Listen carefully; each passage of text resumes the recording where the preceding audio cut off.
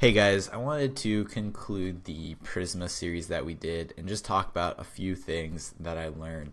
So the first is I liked TypeScript a lot. So I had been using Flowtype before, which is Facebook's version of TypeScript basically, and it's a little bit different because it's not its own language. You kind of just add it on top of the JavaScript, uh, and I didn't like it as much. So when I saw Prisma had a TypeScript version, I wanted to try it out, but I was skeptical and didn't think I would like it as much as I did.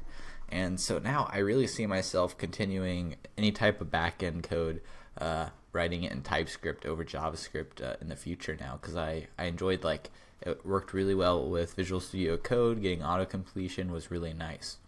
Um, I also want to look into what it's like with React uh, and see if I like it too. So some videos possibly in the future about integrating it with React. I believe there is a Create React app for TypeScript, which I'm going to check out and see uh, if it's also pretty nice and I like it. Because I tried Flow for with React too, and I was not a huge fan. Uh, now the second thing, would I use Prisma in a production uh, environment, right? Would I would consider it for a project, or if I was starting a project next, would I choose Prisma? Um, I think I saw uh, Prisma being like a really great choice. Uh, I think they they they did a lot of things right where you can customize and pretty much add anything you want onto it.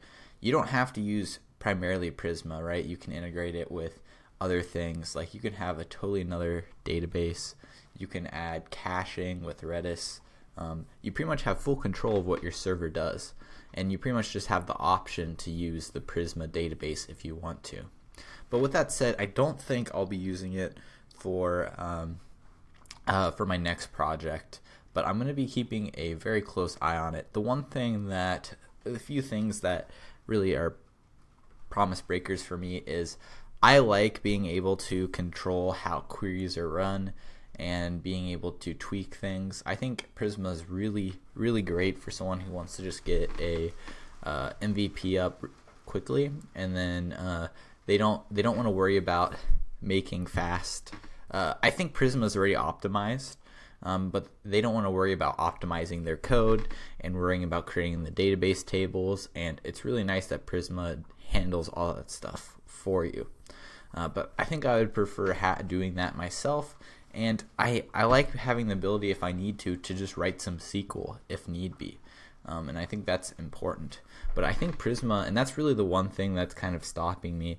Um, and I feel like there's an, an extra request you have to make, right? Because there's now a Prisma server sitting in between uh, the database. So just those things I'm kind of just like eh about. But uh, I definitely think Prisma is still a really good option, and I wouldn't dislike using it in production at all. Uh, I just want to try some other things.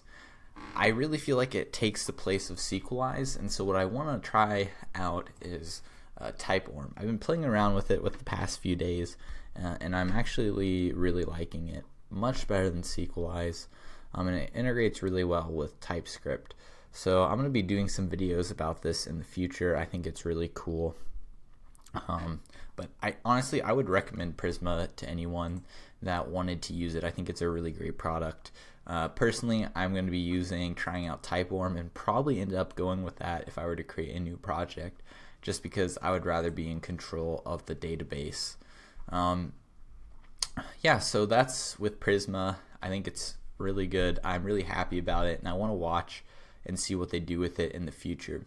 And also, they don't have PostgreSQL support, but it's coming very, very soon. So I'm excited about that. So uh, I'm definitely going to check that check that out when it comes out.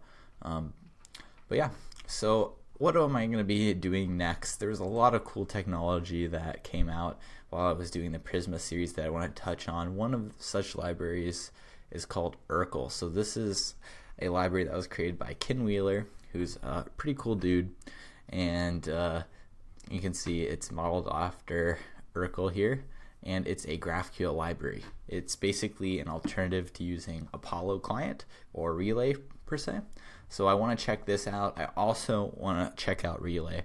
Uh, I've been wanting to do that for a while, so I finally will be getting to that. So lots of cool stuff in the future.